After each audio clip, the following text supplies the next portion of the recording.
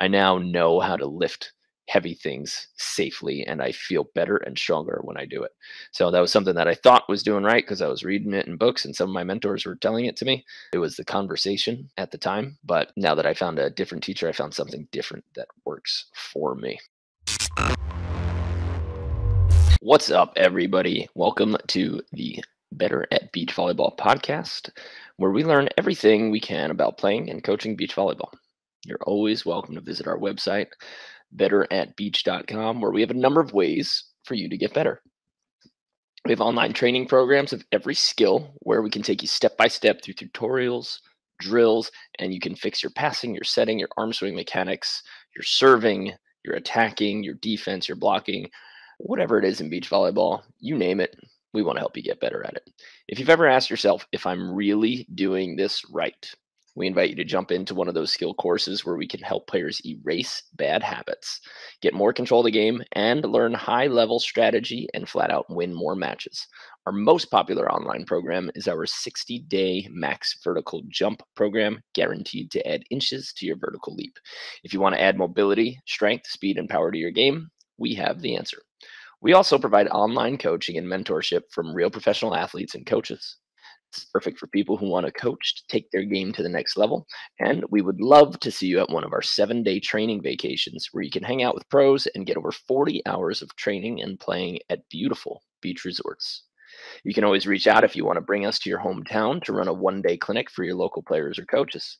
As always, please support your sport by subscribing to our podcast. Please give us a five star rating and share this episode with the volleyball players and coaches in your life. My name is Mark Burik, and we are going to get into it. Today, we're going to talk about nine things from my career and uh, from all of my years in sport, coaching, and playing that I thought I was doing right, but I just wasn't. Or at least that I've changed after thinking that I had locked in. And maybe you guys will be able to relate to some of these. Uh, maybe you guys are going through the exact same things where you think that what you're doing is a great way to do it. And I'm just going to provide some extra answers, some paths that I've taken, and really some key things that I've added to my game. If you know that with our guests, uh, with our guests, we always ask, you know, what they're adding to their game right now, what they're currently working on.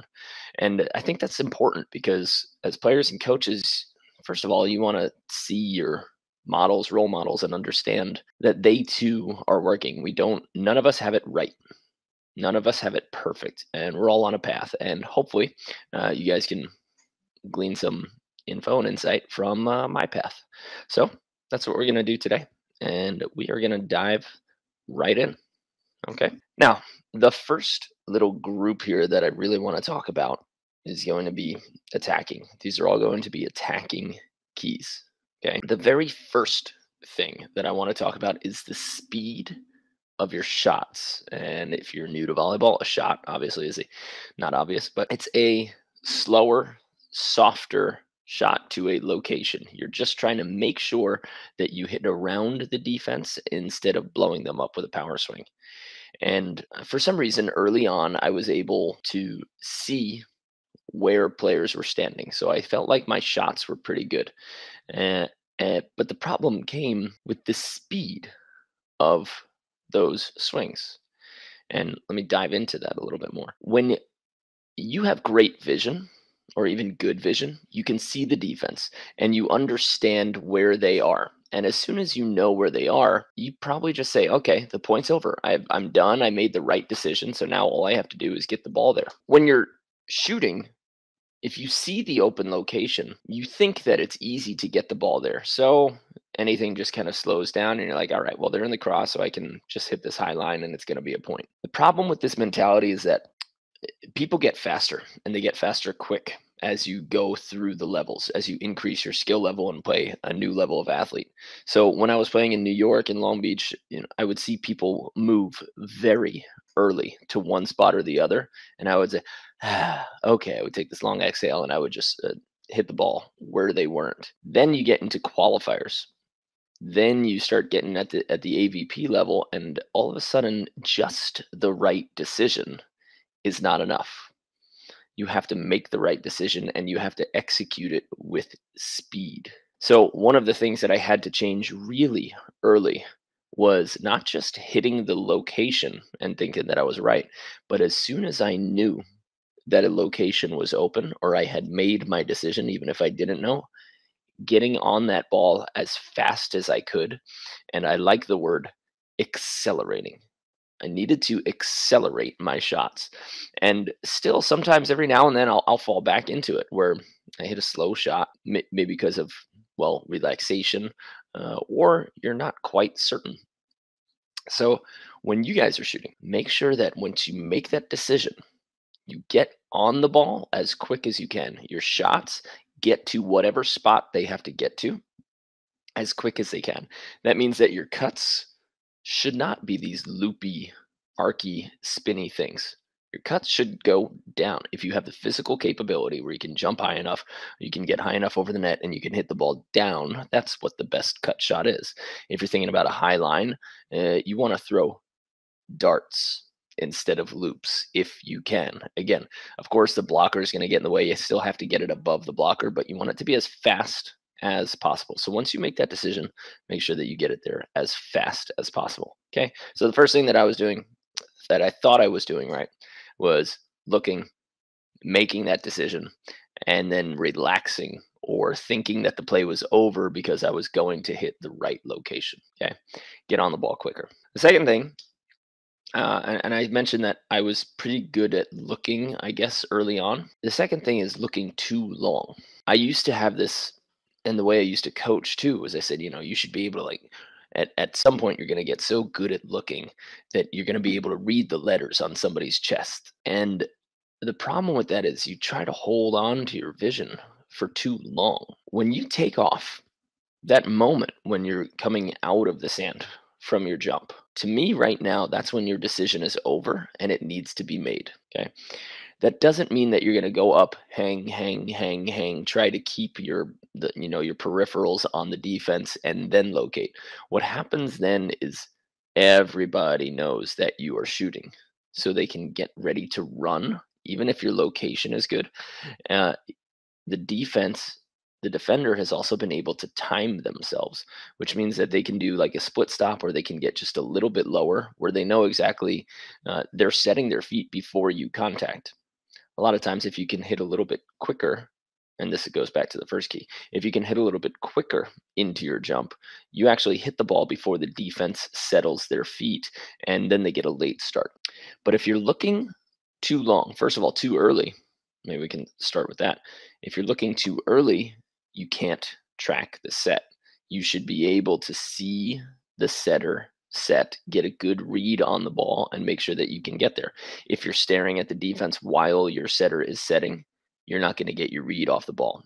I understand that when you're learning this, it's probably one of those tough things because you're so focused on seeing the other side of the court that you forget even to look at your setter. You forget even to look at the set.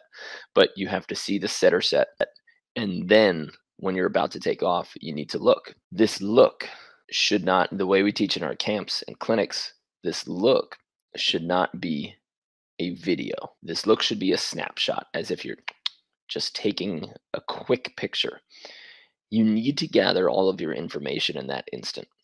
Okay, so instead of staring, staring, staring, staring, looking at somebody and holding, holding, holding, waiting for them to give up their spot and then hitting, you're already on your way down. You're already lower and everybody knows that you're shooting. And even at that moment, you know, your blocker can either take off, they can peel, and they're they are really going to catch you if they peel. So, looking too long, too early, and too long. You can't hold that gaze. Make sure that you're taking a snapshot. It's quick, and in that quick moment, you go with your best information and you do it as quickly as possible. I think that applies to like a lot of I don't know, maybe business and I'm sure kind of uh, military operations where it's the longer you wait because you're just trying to gather as much information as possible. Eh, you often get stuck you freeze and other people are making moves before you can go with what you think is right in that moment and execute it quickly okay? Make sure that you're getting on it. So don't look too long take a flash and then execute it get it to the ground as quick as possible. The next thing i've i've applied to my offense in the last couple years has been getting rid of this idea of going in with an open mind when you're hitting. Okay. That is a little bit of an issue.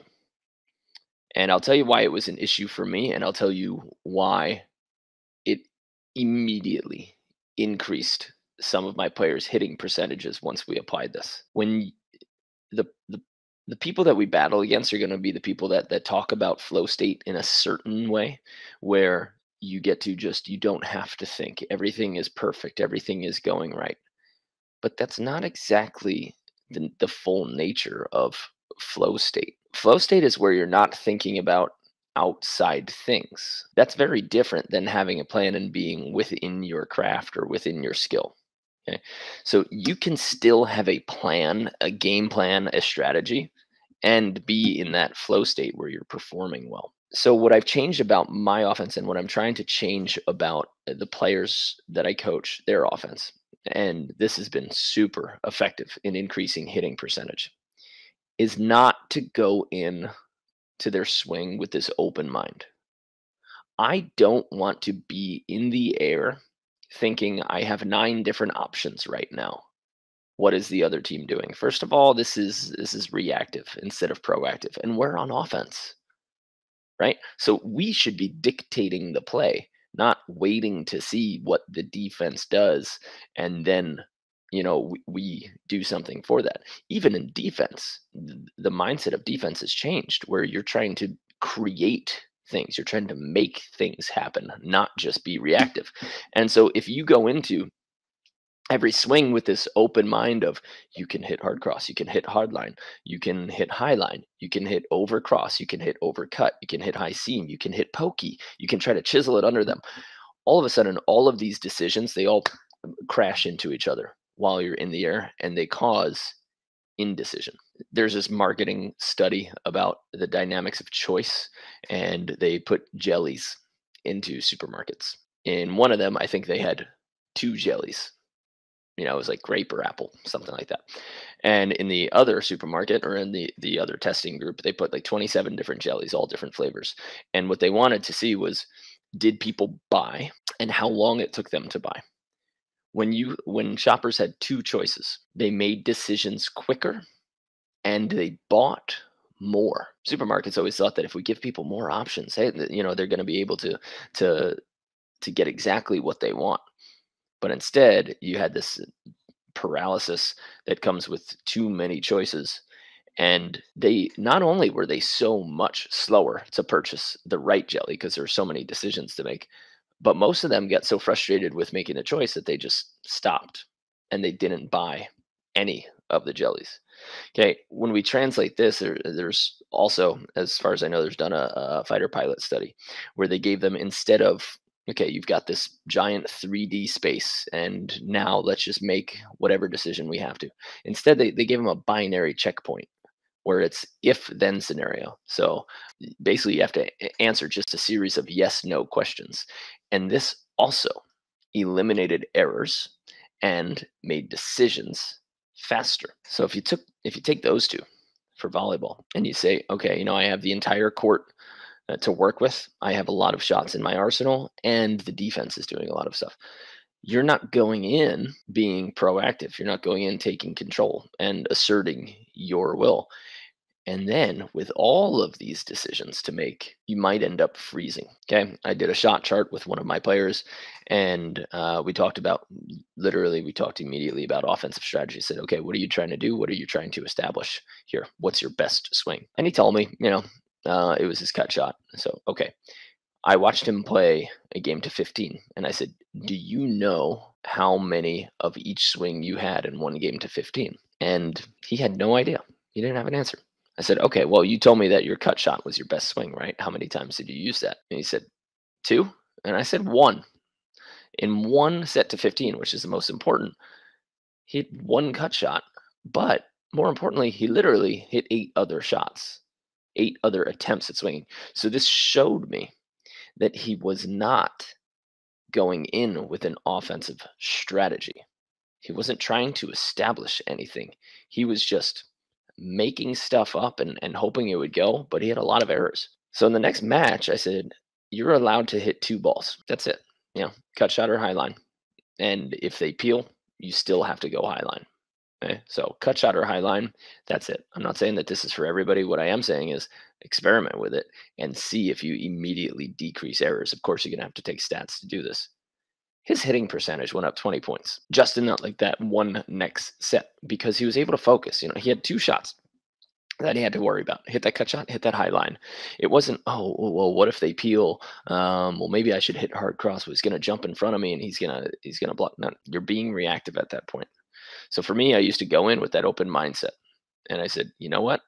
I'm going to, through my if then shot, I'm going to have a binary choice here. So when I applied that a couple years ago, my offense as well, statistically, this isn't subjective, it immediately went up. I chose a swing each point, and I said, This is the swing that I'm going to hit. Then I have an unless. Okay. Normally, if somebody's going to stop, you know, your favorite swing, there's a, a singular way to stop it usually. So I would say, if I see them do this, then my next swing is this. So I had a plan A and I had a plan B. I didn't go for one swing and then if it's closed, I don't have a plan after that. Okay. And then you have your oh crap shot, which I'm telling you right now, for everybody, it should be deep middle. When you're in trouble, just hit deep middle. You will be shocked. It's going to be, you're going to think it's stupid how many points you get by hitting deep middle when you're in trouble or even if you're in system. So this binary check down system for offense improve mine it improves our players it eliminates errors and it makes you able to make a decision faster and it helps you dictate your offense you are the dictator at that point instead of being reactive to what the other team is doing okay you don't need to use the same a swing every time you don't have to okay but each point you should have in mind what are you trying to establish if this happens. And you can dive into that further. You can make a bunch of rules for yourself, but you should have a plan, an offensive plan, an offensive strategy. And I don't think most people do that. At the B, A, double A level, I think people just bump set hit with uh, no regard for establishing the long game. So I would say uh, having that open mind when you're going into offense, you should try to get rid of it. See what it feels like. See if it helps you eliminate errors. See if it makes it simpler. The problem is sticking to this. It's sticking to it when you think that you're on the right strategy and you get stopped once or twice. I'm telling you right now that a strategy works over time. It works statistically which means you're going to lose a few points down the road and that doesn't mean that you've chosen the wrong strategy and it doesn't even mean that you should change that strategy Okay, stick to it, see it out over the course of a set, two sets, a tournament, and see if it works for you. We've got tournaments coming up and you've got practices.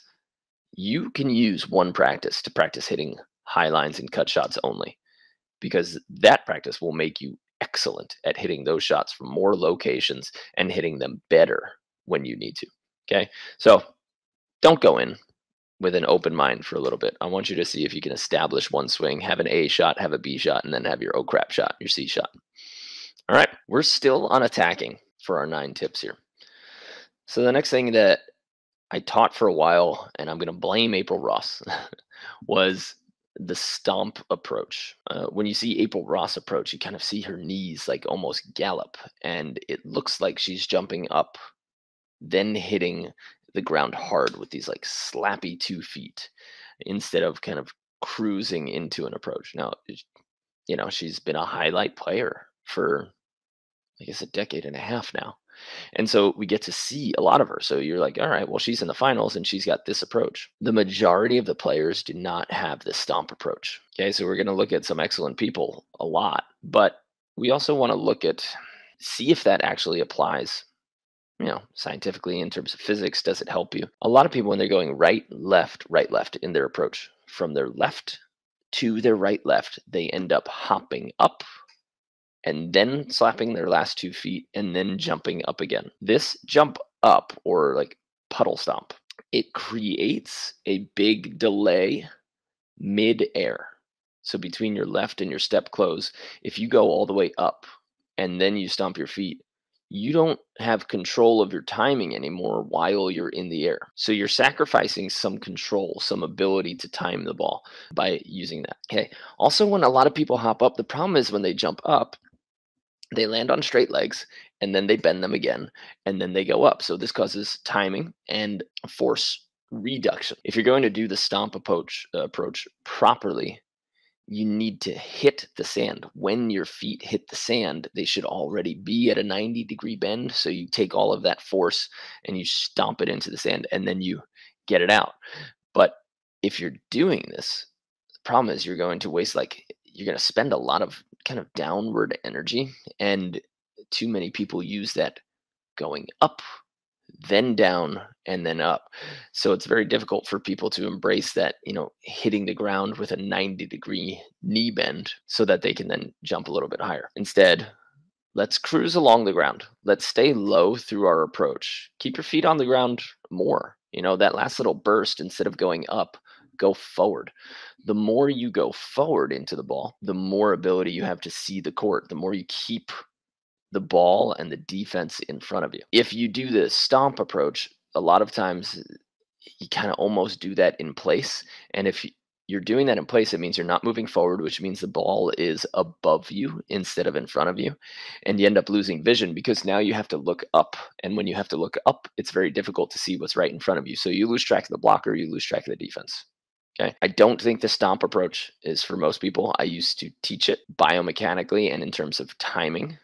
It started started realizing that it became incorrect. So now I like to cruise low and I teach the players cruise low. Keep your feet on the ground. When you go from your left to your right left, you're still going to sink pretty low. I don't want their bodies to go up into the air and them to lose that timing. Okay. Stay low, cruise through it. And for the majority of people, try to get rid of that stomp approach in most situations. Okay. I, I, think it'll serve your vision just a little bit better. Now, let's move on to a little bit of defense before we talk about some intangibles like partner stuff as well as lifting. When we talk about serving tough, what does that mean to you? Serving tough does not automatically mean serving harder, serving faster, more powerfully. Serving tough can be serving harder you know, with more velocity. But it, it also means choosing locations over time. You see where the people are on the court, and for some reason, we're just the ball becomes a magnet out of our hands and goes straight to somebody's chest. You know, and we can't have that. Eh, serving tough can be serving sidelines, it can be serving short all day long, it can be serving those high rainbow deep serves all day long all of these causes a lot of footwork that beginner and mm-hmm. intermediate players don't always pay attention to how you can change somebody's footwork and actually knock them off balance. But when you serve short most players don't get back to half court and they don't get the full approach that they normally do. This doesn't only affect their power and ability to jump but it affects their vision too. When you serve somebody high and deep now they have a long pass which means their setter's probably going to get a little bit more nervous because they're setting a longer higher ball and they end up carrying their momentum. Usually, when you put somebody deep, instead of getting to their three quarters depth where they should start their approach from and then starting their approach, they end up running straight from that back line and they then lose total control of their timing. Eh, you can also serve sidelines. You can knock them inside, knock them outside, eh, put them some way, find some way to get them off of their line. Now, that's what I thought serving tough meant. We have to be aggressive. We have to serve tough. It doesn't just mean bring heat. And I'll tell you what happened next as the next evolution. Once I realized that serving tough didn't automatically mean bringing more velocity, I got so in tuned with the strategy side of it that I would just kind of rely on hitting those spots. And I never went back to bringing the heat, right? Let's let's talk about it in terms of Major League Baseball, maybe with pitchers. Pitchers have a hardcore fastball, something that they just let go of, right? So that you're putting heat on it and you're attempting that location. But then you also have those change up serves that are designed to get somebody off balance, designed to change their timing. Um, sorry, off speed pitches, a curveball, a knuckleball, a changeup, right? Those jack up the timing. But those are usually only effective if you can apply different pressures at different times. So if you keep throwing curveballs, you keep throwing changeups, and you never get in there with a fastball, you're not going to affect the player the way it's designed, the way they're designed to be effective. So what I did is uh, once I found about found out about all those spots and that they changed people's timings and knocked them off balance, that became the thing that uh, I became obsessed with. Now I'm back to a place where there is a time to rip and there's a time to, as some of my East Coast buddies say, whip it out and show them what you're made of. And then there's also a time to find strategy right and see what's going what's going to work in terms of spots now ideally you can spot people and hit with heat but if you have the type of serve where you can overpower people don't lose that i think i ended up losing that for mm, you know maybe a year maybe two and now i'm back to a point where i can get back there and i could say no it's time to physically take over instead of mentally taking over so i think you guys can embrace that there's a time to be physical and strong and aggressive and that will turn and win a match. But there is also a time to knock people off balance and be very strategic about the spots that you serve. And of course, ideally, you know, you want to be able to do both. Okay? So serving tough, I thought I had it right. Then I changed and I thought I had it right again. And now I'm at a place where I think I have it right again. But you can explore all of those spots, heat, changing up, and knowing when it's time to physically push the match. Okay. Or, you know, vice versa. If you're hitting too hard and you're hitting too many serves and you're consistently throwing the same 85 mile an hour fastball, somebody's eventually just going to hit that hit that out of the park. We talked about that in Panama where it was so windy and everybody kept trying to bring as much heat as they could, but everybody was passing nails and maybe the tournament would have been better served or players would have been better served if a lot more people changed it up with some float serves and let the wind dance up with the ball. So just because it was windy and there's wind in your face doesn't automatically mean that you should go to that power serve. Change it up. Keep the other team off balance. Next on my list is still a defense one for something I thought I was doing right.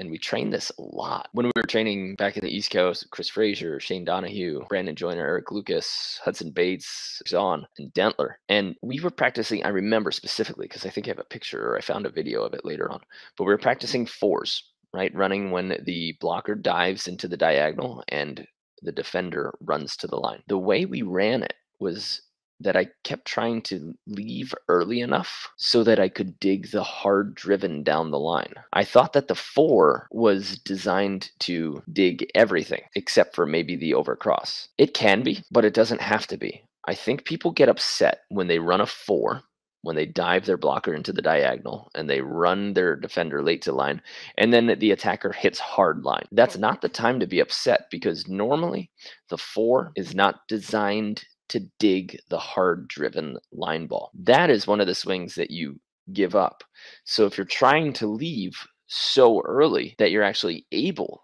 to dig the hard driven line. Most likely, you've left too early and you're going to give your spot away to the offense. So, when you're using that four for a little while, for this week, whenever you're listening to it, if you've been under this mentality, don't worry about digging the hard driven line. And if they hit that, clap your hands together and say, like, yeah, all right, nice job. That was one of the two swings that could have won against this defense and they chose correctly.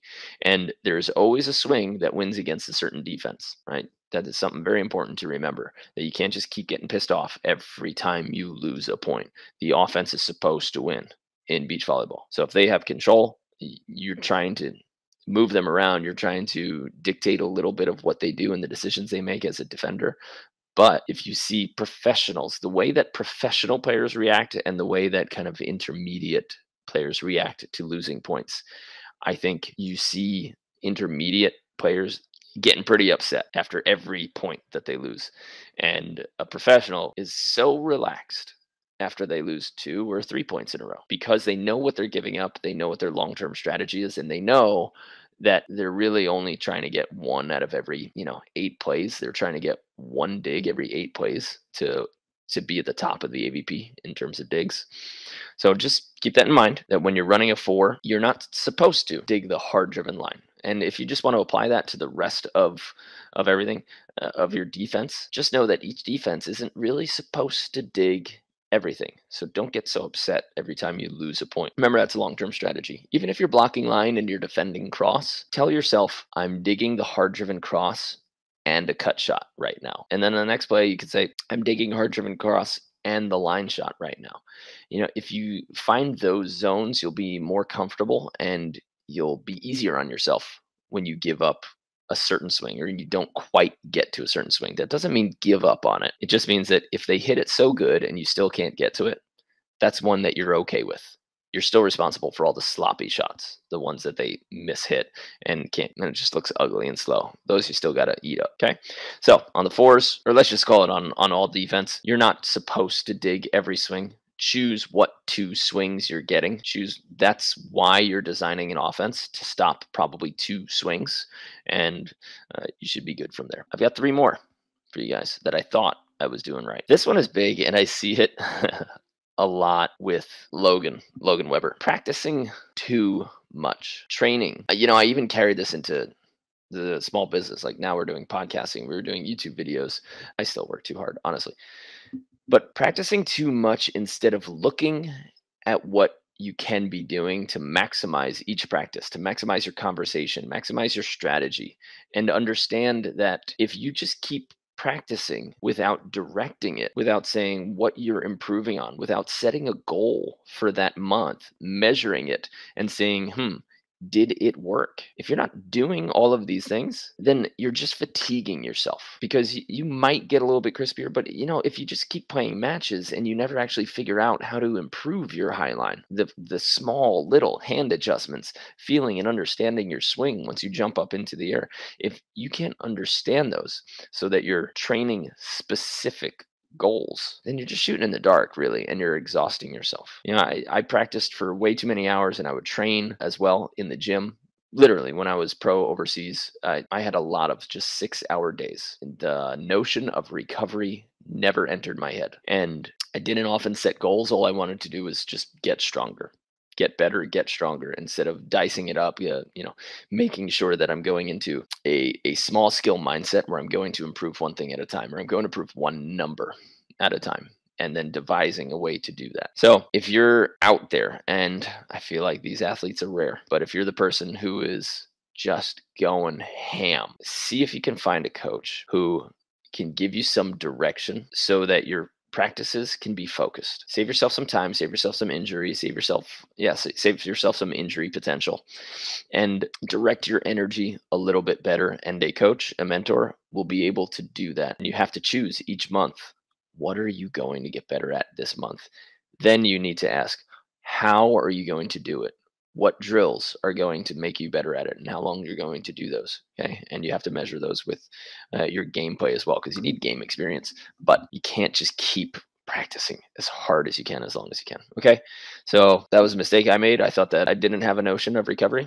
I practiced and played too much without having a very specific direction and without giving any credence to the recovery nature of it. Don't practice too much, but instead, I would say direct your practices instead of just playing. Last two we got. This one comes from uh, relationships with partners. I've put a lot of pressure on my partners and my teammates for a long time since I can remember. I mean, high school football, I they gave me the captainship my JV year and during warm-ups, you know, I thought they were giving us we had to do crunches as part of our warm-up routine to get stronger, to get fitter. And Instead, it was it was more designed just to warm up to kind of increase your base just a little bit. So I would just go until the coaches told me to stop and I would make my whole team do 50, 75, 100 crunches just during warm up and people like thought I was crazy, thought I was nuts and I would just keep going harder and harder and harder and I had a very high and still do have a very high expectation of my partners and that puts a lot of pressure when you show up to practice and you think that somebody is going to hold you to this incredibly high standard for hustle. You just have to know, I'm not going to tell you not to do it, but you just have to know what it's going to do to people. And not everybody can handle that high amount of pressure every single day or thinking that their teammate constantly thinks that they're not doing enough. I took a look at guys like Casey Jennings who looked to be like a maniac, you know. when he was playing on the court, like sometimes he would just get in the face of his partner and tell him what to do. And, you know, I, I saw it in a couple other players as well, like Adrian Carambula, who became you know, a, a, world sensation, put a lot of pressure on his partners. And you could see it and you could feel it. And it was tense. These guys are both great players, but I see a lot of not great players as well who just constantly make their partners feel like whatever they're doing is not enough. You have to find an agreement with your partner. You have to understand where they're at. And all you have to do is you have to understand that consciously, this has to be a conscious choice, putting pressure on your player and understanding that with that conscious choice, it's going to affect them in a certain way. They're going to react in a certain way. And especially since it's beach volleyball and it's two on two, you have one partner. They'll go somewhere else, you know? So if you if you don't have that solid long-term relationship, they will go somewhere else. For indoor, when I was playing college, I put that same pressure on people, but they had some of the other guys on the team to lean against and to keep them happy and joyful and staying on the team. I think that was important for them. If it was a team full of me and Hudson, where we kept putting tons of pressure on everybody at every instant in the weight room, on the practice court, it would have been a different story. But because we had such a good team, we were well rounded. People had other people to go to to lean on. In beach volleyball, there's one other person. And if you're going to make that decision to hold each other to an incredibly high standard and not hold back on your feedback or not even guard it eh, with your words, you know, or say it in a softer, nicer, con- kinder way, there's a good chance that that partner will leave. They just won't want to play with you and, and they'll shut down. So just know that when you put that pressure, it's not inherently a bad thing. You just have to understand what it has the potential to do to your relationship, to the partnership. Okay. And then make choices from there. See if every time you do put that pressure, see if it actually works. Ask them, hey, do you want to get fired up? Do you want me to be tough on you? If they're just like, nah, man, I, I just need you next to me. Okay, then then that's that's what we'll do. But you you have to understand that that level of pressure will knock out 99% of humans. It, people don't want to experience that or feel that all of the time. Okay, it's a lot of emotional strain to be able to tolerate and it takes a very a very special person to to walk into the same situation day after day in a tense environment. That is something that I've been trying to change in my game, put a little bit less pressure and I'm not saying don't hold standards, but react in a different way to, to hold on to some partners a little bit better. The last, and I didn't save the best for last or anything, but my last tip is bracing while lifting. I was talking uh, to a good friend, a physical therapist, about this. When I was coming up as a personal trainer and a performance enhancement specialist, they told me to, to brace my core by sucking in my belly button and kind of getting tall and keeping my belly button close to my spine. And they said that that was core engagement. It, it didn't, it never kind of made sense to me that I, you know, would like keep my belly button sucked in and then keep trying to breathe while doing this. And I understand that this engages some of the paraspinals, but when you're lifting, it just always created instability. And I think because there was so much instability, that might have ended up in, in a lot of uh, injuries for me. Recently, I went back to Olympic lifting and powerlifting and I started studying. Some players signed up for some online programs, not players, lifters. I signed up for some online programs and reintroduce myself bracing, but in a way that the Olympic lifters do it, and in a way that pure strength athletes do it. And everything, when you have those belts, when you have those big lifting belts, every one of those athletes creates internal pressure by expanding their diaphragm, like opening up from the sides and creating this big, and then pressing out on it, creating a ton of internal pressure from that cavity. Almost like if you were to push your stomach out and tighten it so that you had the ability to punch yourself a bunch of times, create that type of tension. This is how Olympic lifters brace themselves. When I changed away from the whole sucking my belly button in thing to pressing out from the inside of my stomach and you know like using real air and real pressure from my diaphragm and pelvic floor to actually push my belly out and press it against the weight belt and then learn how to do it without a weight belt, I'll tell you what happened. My squat numbers went instantly up just from how I changed my stomach, how I changed my bracing around my core, being able to create that internal pressure so that you could push your belly button out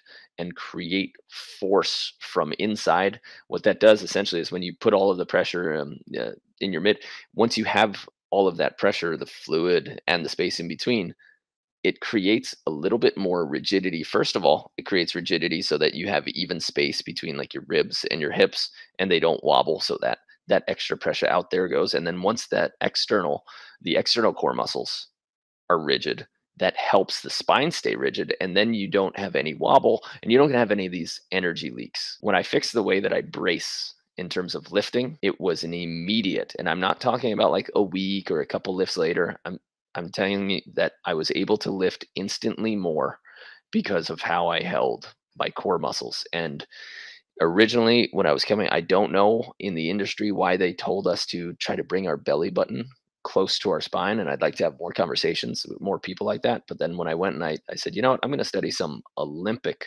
level Olympic lifters. None of them were doing that, and none of them recommended it. And they all recommend the bracing, so pressing out from your insides. And I said, all right, I'm going to try this. And as soon as I started lifting like that, strength numbers went instantly up. I got stronger. I now know how to lift heavy things safely and I feel better and stronger when I do it.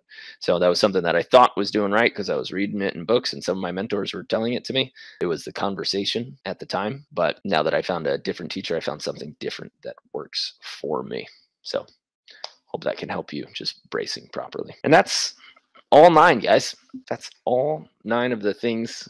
I'm sure I've done a lot more wrong, but that's nine of the things that I thought that I was doing right that I've since changed. And I do have a few announcements just before we go. Just so you guys know, June 1st is the sign up deadline. We have our attacking masterclass at betteratbeach.com. Right now it's on the homepage. You can see all you need to see about it. But essentially, we're going to take you from the ground up. Okay. And I can actually take you through the modules right now. And I'll tell you what's included in this attacking masterclass. It's going to be a month and it might go a little bit longer because what we do in our online courses is we have all of our videos recorded. We take you step by step. We give you video homework so that you can watch it, so that you can actually do it. And then we give you drill homework. When you go and you do your drill homework, you film it you post it on our private Facebook group. We have a team of coaches that goes in there and actually tells you what you're doing right and what you're doing wrong. Not only do we have literally thousands of hours invested into the videos that we've created in this in these courses. But for the attacking masterclass specifically, which is starting on June 1st, you have to sign up before June 1st if you want to go through the whole thing. You're getting access to that course and you're getting access to all of our skill courses. Now, we're not going to talk about all the other skill courses, but you have access to them. Right. And you have access to the 60 day max vertical program. Once you're in here, you're going to watch a few videos each week and you're going to get video homework. When you do the video homework, you post it on the Facebook group. And like I said, we actively coach you. So when most people talk about online courses and they go through a recorded version, and you can do that and you can crush this. I mean, building your technique from the ground up so that your steps are right, your jump mechanics are right. Most people the large majority of people actually legitimately have no idea how to jump in terms of, in terms of mechanics in terms of syncing their arms. And so one of the first things that we do is we make sure that you get the right footwork so that you can be consistent and you fix your jump mechanics so that you can actually utilize whatever strength or power you have. That's just the first module. After that let's see, I'm going to go through the modules here. So footwork is the first first module. And the second, we're going through elite jump mechanics. After that, we talk about arm swing mechanics for power, how to develop actual power, how to develop torque through your body and what that actually means, how to create whip and if you have shoulder injury or pain, I'm telling you right now, this course, I can't promise that it's going to eliminate it. But when so many players say, hey, as soon as I made those fixes, I was able to hit harder and I was completely out of pain. And I haven't been able to swing at a ball without pain in years. And all we had to do was give them a few technical cues to fix their arm swing. And that was it. And when we can see you swinging because you're posting your videos on the Facebook group, we can give you real advice and, and give you help. The fourth module is timing and spacing, understanding exactly where you need to be and when you need to start and how to adjust your timing. There's a lot of different spacing scenarios that you need to understand from right side, from left side, when the pass is tight, when the pass is off, and where you need to get your ball. And we talk about that a lot in that part. The next one we do, we go through strategy. Okay. Should you use power? Should you use finesse? Who should you model yourself after? How to learn what your best attack is, and then admitting your weaknesses. Honestly, we go through a lot of that, and we have deep conversations about saying, "Hey, what should what swings should you really be going for?" Because we know what swings Phil Dalhausser can go for, and I know that you watch him every weekend. But should you play? Should you model yourself like him? Probably not. So let's find a different model for you. And we talk a lot about that in the strategy session as well.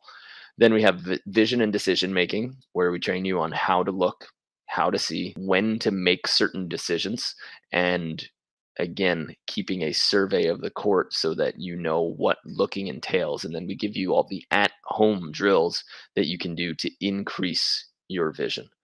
We talk about out of system offense, what to do when everything is bad and when it's really windy. So we dedicate one a full module just to just to out of system uncomfortable offense when things don't go right. And then we kind of wrap it up with exercises and workouts that are going to make you better at offense, are going to help you jump higher. What types of exercises you should always be incorporating so that you can actually hit with power because you can learn how to hit with power, but you can also increase your power potential. So we teach you what exercises and workouts you should be doing as well as we give you a collection of offensive and side out drills. All of this is just in this one course. When you sign up, you get access to all of our courses, and our group goes so we take all of our players, all of our members, and we go step by step through the season. So, right now, currently, our members are in their second week of the how to set better in 30 days, the setting blueprint. They're going through all of the setting exercises and they have daily exercises that they can do with hand rhythm, um, essentially bumping, bumping to themselves, hand setting to themselves, and they're recording that and they're also getting coached on that. So if you sign up right now, you can catch the tail end of the setting course so that you can really shore up your hands and understand what setting rhythm looks like. And then you'll be in time for the June 1st deadline for the attacking masterclass, which is going to go so in depth into technique and strategy. So if you've ever felt like you just can't get your timing right, like you don't understand why your consistency is not there, you know, you get one great hit every eight balls, but you don't know what led to it or why, or you're the type of person that gets that one great hit and you're like, yeah, that was the set. It's not usually about the set. A set can ruin your hit, but it's about your footwork. It's about establishing consistency so that you can have a great offense. So if you guys want to come along this journey for the attacking masterclass, it's a behemoth. It's awesome. You get real coaching, you get access to all the recordings. And then, as soon as we are done with that, we're going to go into our Ultimate Defender. So you can sign up now. And then, before the season, we can take you through all of the offensive techniques and strategies. And then, for the next month, once we're done with that course, we're going into Ultimate Defender, which is going to be the exact same thing for everything defense. And again, I think the best part about this is that you actually get to post your videos and ask questions in our private Facebook group any time you want. And our coaches respond and give our critique within 24 hours. So when you're kind of wondering or you're sitting there and you're searching through YouTube and you're like, ah, you know, where's the answer to this unique question that I have about like how to contact my hand on a cut shot or uh, when I should even hit a cut shot? You don't have to wait anymore. Just sign up for the program you put that question in the Facebook group, and either a national champion or a professional athlete or a national team coach, those are the only people we have coaching in there. Those are the ones who are going to give you the answer to all of those questions. Can't recommend this enough, guys. Uh, I built it because I wanted it there for players like me who were looking for answers early on and had this kind of slow discovery process and couldn't quite get the answers, couldn't find a place to get the answer. So we have it for you. We have it built step by step so that you can build your approach and your attack from the ground up. And we hold your hand through it with fantastic coaches. Don't know of any other program like this. I think it is the answer for so many people, and it will get you an entirely new offensive set so that you can finally start hitting balls consistently, understanding timing, setting yourself up in the right place so that before you even hit the ball, you have a better chance of getting a great hit just because of the setup and the offensive design which we go through uh, in the first half of that course. So I really invite you to come along for that journey. Again, it starts June 1st for the attacking masterclass. If you sign up right now, you will also get the last three weeks of the setting course where we're doing all of the setting drills and we're giving that exact same feedback. So if you're if you're iffy on hand setting in any way, or you're kind of intimidated by it, or you just choose not to, I really think you should get into the course right now because again, when you sign up, you get all of our courses and our 60 day vertical jump program and 53 fully designed practice plans all together in one membership. The only thing that happens is that we go through as a group one course at a time. If you don't want to follow along with the group and you want to take one of the other courses, because like right now we're doing setting, then we're doing attacking. If you're only interested in defense, you can go through that course. You can still post your videos and we will still answer your questions in the private Facebook group. So I wanted to make sure you guys knew about that. The deadline is June 1st, but if I had the choice, I would get in right now. If I could fix my setting, if I could have somebody lead me for this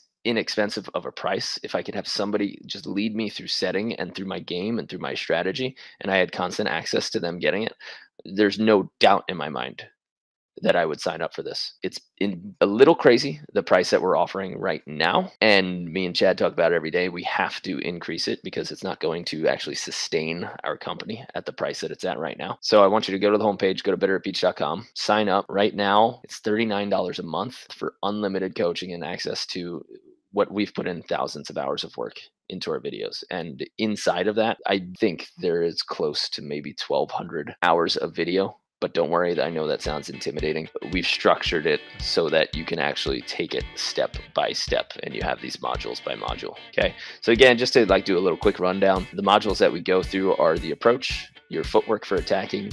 Then we go through elite jump mechanics. We teach you how to jump, how to sync your arms. Then we go into arm swing mechanics for power. We get into timing and spacing so that you're in the better location to develop your offense. We go into strategy so that you know what to hit and when to hit it. Then we go into out of system offense and how everything changes once you have a bad pass or once it gets crazy windy.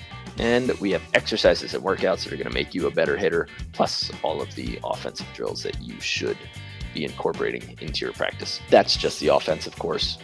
Then there's a ton of modules for all of the other courses, which you get all in the same package. So go to betteratbeach.com right now if you're listening to it is the attacking masterclass that will start June 1st. Really looking forward to working with you if you think that this is up your alley. And if not, then keep enjoying our free podcast and, and taking a look at our YouTube videos. And if you enjoyed this, go to our, please go to our podcast and subscribe. We have a podcast where we have, I think, 16 episodes up already, and it will help us. I don't know how yet, but subscribers and followers and shares for, for growing our podcast, it's just going to grow our audience and let us help more players and help more coaches. So go ahead and subscribe to the Better at Beach Volleyball podcast. I think it's on Google, Spotify, and Apple Podcasts. And that's it. Uh, if you guys are hanging out and you are on YouTube or Facebook, I have you on live stream. And if you ask any question, I'll be able to see it, and I'm happy to answer any questions.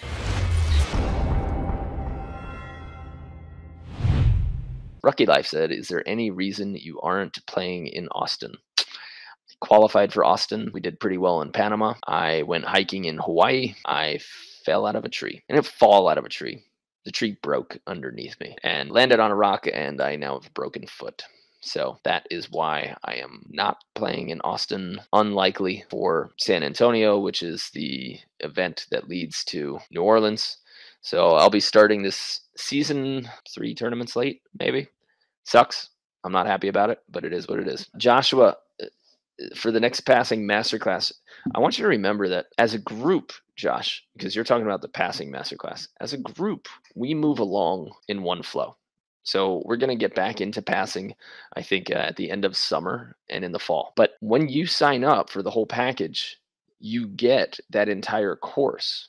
It's just recorded and the only difference is that the conversation in the private facebook group you won't see everybody else posting about passing questions. So you can still post your your passing questions. So if you want to take the passing masterclass right now sign up at the exact same place, right? It's still sign up at the exact same place. You still get access to that and you can still post your videos. So if you want to take the passing masterclass, the setting masterclass, fix your arm swing, the ultimate defender, uh, 60 day max vertical, you can do all of that currently right now. And you just sign up in the exact same place. It's all under one membership. So it's still, even if you sign up on the homepage that says the attacking masterclass right now, you get access to all of those courses and you can dive into whichever one you want. Josh. Hope that's clear. It's not always clear in our marketing or our sales pages or anything like that. And I know that, but we focus as a group on one thing at a time. And so that's what the conversation will be. And so you'll see a lot more people getting feedback. Like right now, you'll see a ton of people getting feedback on setting.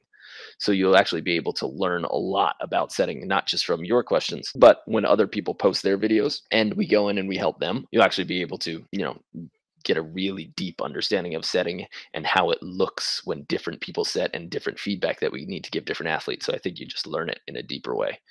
But if you don't want to take the setting course right now, if you want to dive straight into the passing class, which we actually just wrapped up, go in, take the course, scroll down on the Facebook group, and you'll see a ton of passing feedback from lots of athletes. And as soon as you do the drills in the course and you post them, we're still going to coach you the exact same way that we're coaching our hitting class. So, yeah, hope that's clear. Sounds like you got it. All right.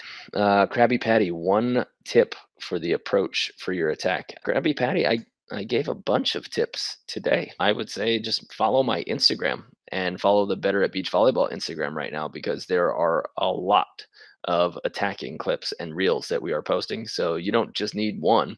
Follow us on Instagram, Better at Beach Volleyball, or follow me, Mark Burik, and y- you will get a ton of small tips uh, just from that. Colby, at what skill level should you start developing a consistent flow state with your players? All of them. You know that's something that you get into right away. Remember flow state is just uninterrupted and and and a clean focus on the activity that you're doing. So when a kid when a 5 year old kid is invested in into a, a video game. He's in flow state. You know how like sometimes you'll call your kids to dinner and they won't respond because they're so invested in in that thing and they go ah. You're like no dinner. And they go ah that's not a response because they're so invested. Their mind is is is essentially controlled and invested in that video game. So they are in flow state at that point right? When something is when somebody is so focused that outside thoughts and outside inputs don't actually affect them deeply that person is in flow state. So we practice it all the time.